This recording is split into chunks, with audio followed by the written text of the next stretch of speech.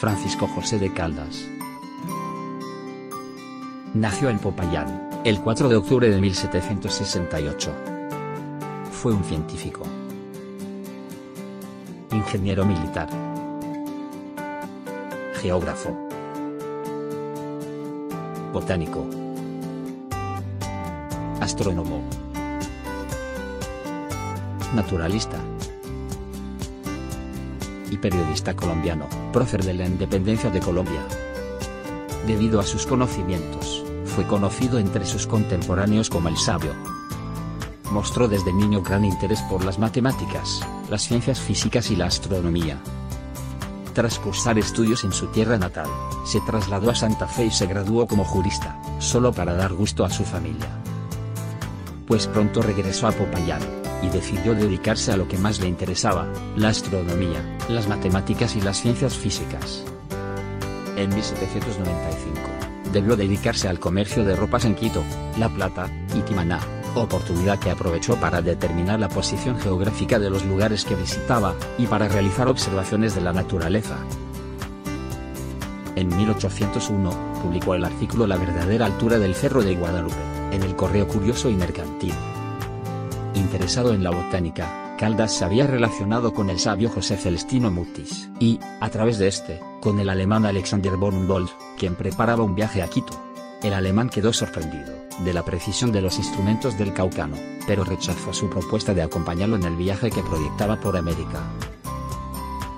En 1804, Caldas publicó, Viaje de Quito a las costas del Océano Pacífico por Malbucho y Viaje al corazón de Bar Nuevo, en 1805 se vinculó como astrónomo a la Real Expedición Botánica, y fue nombrado director del Observatorio Astronómico de Santa Fe. A la Real Expedición Botánica de 1805, Francisco José de Caldas aportó 16 cargas de diversos materiales y dos volúmenes descriptivos de usos, costumbres, industrias, agricultura, tintes, recursos, población, enfermedades endémicas, vicios y literatura, de la zona que había recorrido entre marzo y diciembre de ese año.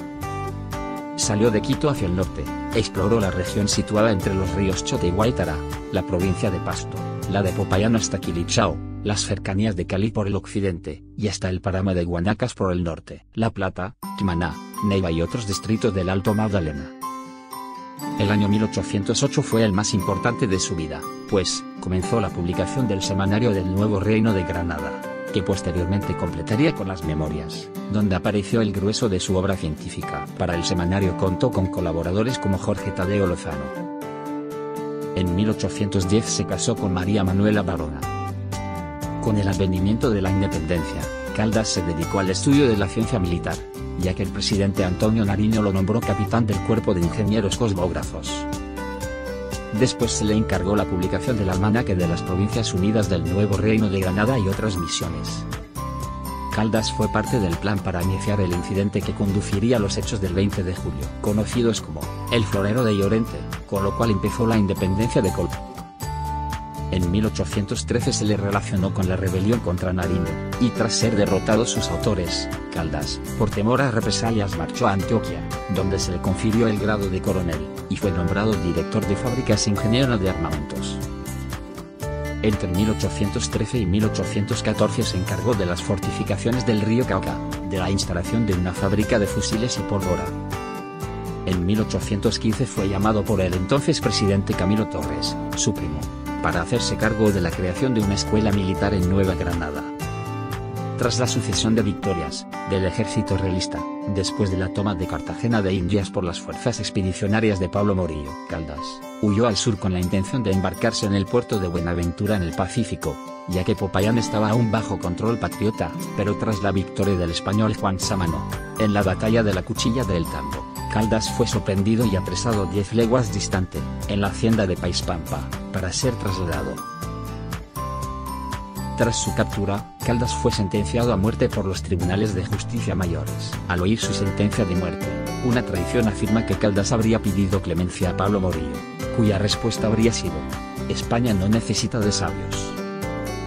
La traición, adjudica la frase a Pablo Morillo, o a Pascual Rilli Acedo, pero se duda de que alguna vez fuera pronunciada fue fusilado por la espalda el 29 de octubre de 1816, en la plazuela de San Francisco, hoy Parque Santander de Bogotá, junto a Francisco Antonio de Ulloa. Caldas murió a la primera descarga, cuyos disparos le entraron por la espalda. Los cadáveres fueron enterrados en la iglesia de la Veracruz, donde reposaron hasta 1904. Guillermo Valencia, quien era representante a la Cámara, solicitó a la Academia Colombiana de Historia el traslado de los restos de los próceres a Popayán. Llegando a esta ciudad en febrero de 1905, los restos reposaron en la iglesia de San José, luego en la catedral y finalmente, en 1940, pasaron al panteón de los próceres de Popayán. Si te ha gustado este vídeo dadle a like y suscríbete.